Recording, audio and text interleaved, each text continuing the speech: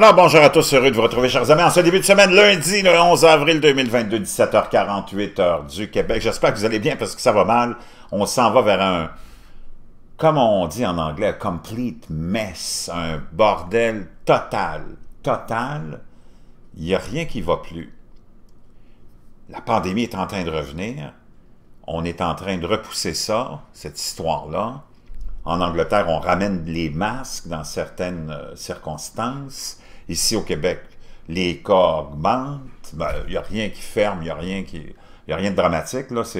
C'est vraiment léger. Mais on ne s'en sort pas. L'histoire de l'Ukraine et de la Russie, ça s'amplifie. Je l'avais dit, ça va être long. Ça va prendre des années. Et on va se diriger sûrement. C'est juste une question de temps avant qu'il y ait un événement mineur qui déclenche cette troisième guerre mondiale où on va assister à un gros feu d'artifice. La Chine attend aussi en arrière-plan pour aller chercher Taïwan, ce qu'elle pense être sa province à elle. Donc, ce qui s'en vient dans les prochaines semaines, prochains mois, prochaines années, va être très difficile. Pendant ce temps-là, il y en a un qui a un plan spécialement secret, euh, qui commence peut-être à être dévoilé, c'est Elon Musk. Je vous en avais déjà parlé. Je vous ai parlé la semaine dernière de son acquisition de près de 10% des actions de euh, Twitter. C'est souvent plein de Twitter, a même été lui-même euh, victime de certains, euh, certaines censures de Twitter. Et on apprend des choses renversantes sur Twitter. On sait que Twitter est très actif du côté gauchiste, hein, les, les gens qui sont là à superviser les tweets sont de tendance euh, démocrate, ça c'est certain. Gauchiste, on le savait, mais là c'est confirmé. Ces gens-là euh, tolèrent rien qui vient euh, contredire leur idéologie. Par contre, vont être très, très euh, laisser aller sur les comptes robotisés, gauchistes, ou les comptes gauchistes carrément, où on fait la promotion de violence même. On laisse aller les choses parce que ça va dans notre idéologie. C'est pas, pas comme ça que ça devrait fonctionner un endroit public. Ça devrait être égal pour tout le monde, avoir un même poids, même mesure, mais c'est pas ça qu'on voit euh, sur certains réseaux sociaux, surtout sur Twitter. Et c'était une des raisons pour lesquelles même Elon Musk, je vous en avais parlé, avait voulu il y a deux semaines à peu près, lancé l'idée, mais déjà il savait qu'il s'en allait acheter euh, des, des parts, c'est ce qui en fait le plus grand euh, euh, partenaire, le plus grand investisseur, hein, le shareholder, celui qui a le plus de, de, parts dans Twitter pour l'instant, et je pense qu'il vise plus que ça, ce qu'on va aller voir ensemble. Il, lançait l'idée de lancer une nouvelle plateforme qui serait plus juste pour tout le monde et équitable pour tout le monde, moi, j'avais dit, pourquoi acheter ou pourquoi lancer une plateforme quand t'en as une qui est là, qui est grosse, achète-la. Ben là, ça semble être ce qu'il veut faire. Je pense qu'il va... Euh, on se rend compte que Twitter, d'abord, on se demande même si c'est pas en train de mourir. Il y a 50%, puis on va aller voir ça, c'est pas des c'est pas des pas des, des farces, là, c'est pas, euh, c'est pas des jokes, comme on dit en, en anglais. 50% des comptes sont des boots, des robots ce qui a été partagé et euh, ces comptes-là qui parlaient et qui propageaient et qui publiaient des nouvelles sur la pandémie sont des robots, imaginez-vous. Et là, on se demande si Twitter n'est pas en train de mourir et on se demande si Elon Musk ne serait pas en train de préparer une offre très, très agressive de prise de contrôle. CNBC, le recul de Musk sur Twitter ouvre la porte à une prise de contrôle hostile. Selon les analystes, le renversement par le milliardaire Elon Musk de sa décision de rejoindre le conseil d'administration parce qu'on lui a offert, comme il était un des plus grands shareholders, de, le plus grand euh, possesseur de parts, on lui a offert une place sur le conseil d'administration. Il a refusé parce que, en devenant ou en acceptant d'être sur le conseil d'administration, il devrait se limiter à 25% des parts de Twitter. Et Elon Musk est déjà rendu presque à ça, puis il ne veut pas se limiter à 25% Donc, si tu t'en vas sur le conseil d'administration, tu es obligé de te limiter à 25% Les actions de Twitter ont chuté à la nouvelle du renversement de Musk lors de la négociation avant la commercialisation, mais on augmente, on aurait augmenté à 2% Euh, maintenant, c'était très volatile. Les analystes se demandent maintenant si Musk poursuivra une prise de contrôle hostile de Twitter sans les contraintes qu'il aurait eues sur la taille de sa participation dans l'entreprise, justement. Le renversement par le milliardaire Elon Musk, qui est l'homme le plus riche au monde en passant 270 milliards de dollars, il est estimé sa fortune, euh, le renversement par le milliardaire Elon Musk de sa décision de rejoindre le conseil d'administration de Twitter ouvre la porte à une prise de contrôle hostile et pour entraîner une volatilité supplémentaire du titre selon les analystes. La décision de Musk de ne pas rejoindre le conseil d'administration de Twitter signifie qu'il n'est plus limité à ne posséder que 14,9% de la société. Maintenant, de nombreux analystes suggèrent que le PDG de Tesla pourrait renforcer sa participation et éventuellement essayer d'établir le, le contrôle total de Twitter.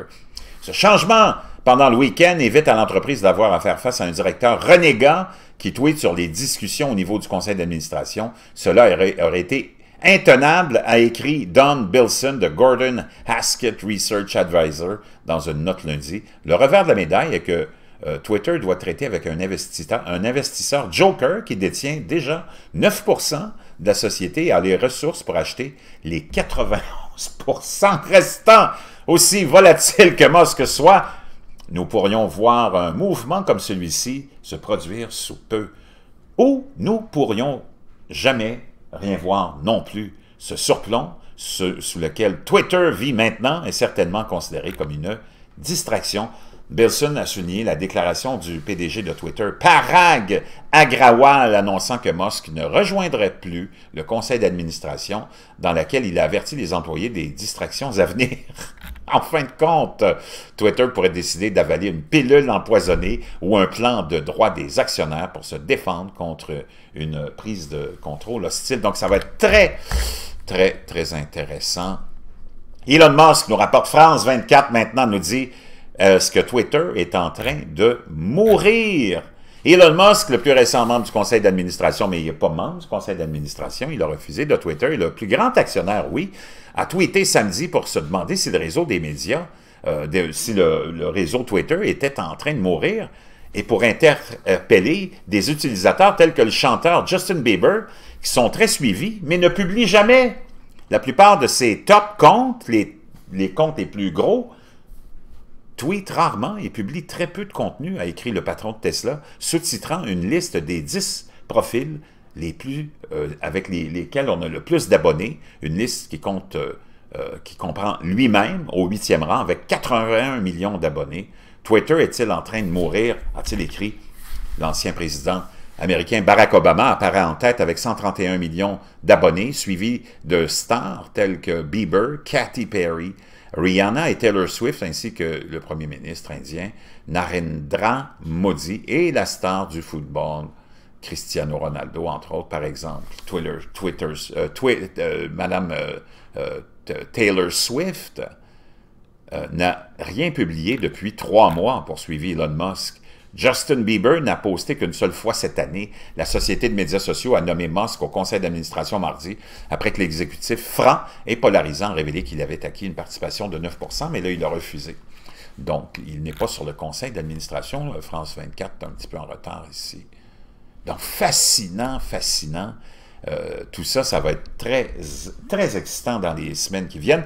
Les plans possibles d'Elon Musk nous rapporte le Daily Mail, hein, un petit journal gauchiste qui a peur qu'Elon Musk prenne le contrôle, peut-être lancera-t-il une prise de contrôle hostile du réseau social le plus éveillé et le plus influent du monde. Et combien cela coûtera-t-il?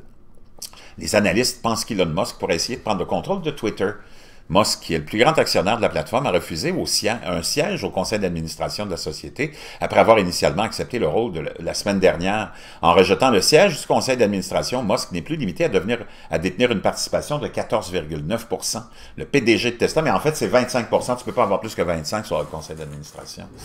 PDG de Tesla, qui détient déjà 9,2 de l'entreprise, devrait obtenir au moins une participation supplémentaire de 40% de devenir l'actionnaire majoritaire. Les actions supplémentaires coûterait à Musk environ 15,3 milliards de dollars. C'est rien pour celui qui en vaut 270 milliards. Donc, je vous laisse ça fascinant, intéressant, tout ça, pendant que Twitter, hein, je vous l'avais dit, nous rapporte npr.org. Des chercheurs nous disent que près de la moitié des comptes qui tweetent sur le coronavirus sont probablement des robots Près de la moitié des comptes Twitter diffusant des messages sur la plateforme de médias sociaux au sujet de la pandémie de coronavirus sont probablement des robots, ont déclaré mercredi des chercheurs de l'université Carnegie Mellon. Les chercheurs ont analysé plus de 200 millions de tweets sur la pandémie et sur le virus depuis janvier et ont découvert qu'environ 45% avaient été envoyés par des comptes qui se comportaient davantage comme des robots informatisés que comme des humains.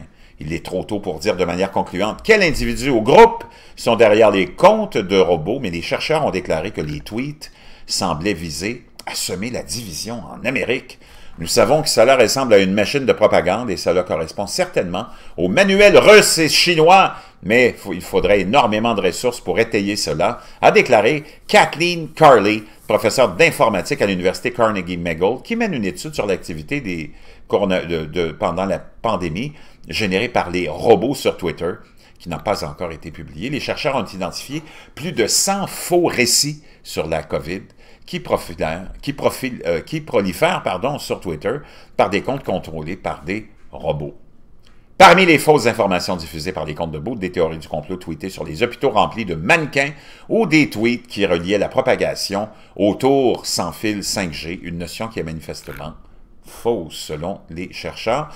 De telles idées fausses sur Internet ont causé des dommages dans le monde réel. En Angleterre, des dizaines de tours sans fil ont été incendiées dans des actes qui, selon les responsables, ont été alimentés par de fausses théories du complot liant le déploiement de la technologie 5G au coronavirus. Nous constatons jusqu'à deux fois plus d'activité de robots que nous l'avions prédit sur la base des catastrophes naturelles, crises et élections précédentes. Donc, je vous laisserai ça, vous irez lire ça. C'est euh, très intéressant. Prise de contrôle hostile, peut-être, d'Elon Musk. C'est une histoire à suivre.